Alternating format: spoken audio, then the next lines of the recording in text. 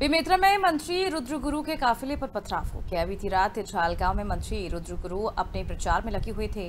तभी अचानक कुछ अज्ञात लोगों ने भारतीय जनता पार्टी जिंदाबाद के नारे लगाते हुए मंत्री रुद्र कुमार के काफिले के ऊपर पथराव कर दिया। हालाँकि इस पथराव से किसी को कोई गंभीर चोट तो नहीं आई है, लेकिन मंत्री रुद्र गुरु की गाड़ी के कांच टूट गए। घटना के बाद नवागढ़ विधानसभा क्षेत्र के कांग्रेस नेताओं ने नवागढ़ थाना जाकर उन अज्ञात लोगों के खिलाफ रिपोर्ट दर्ज कराने का प्रयास किया। लेकिन अज्ञात लोगों ने रिपोर्ट नहीं दर्ज कराने दी और आपको बता दें देखिए, हंगामा देखकर तस्वीरें आपको हम दिखा रहे हैं किस तरह से यहाँ पर बीजेपी जिंदाबाद के नारे लगाए गए और उसके बाद प्रचार के दौरान मंत्री जी पर हमला कर दिया गया।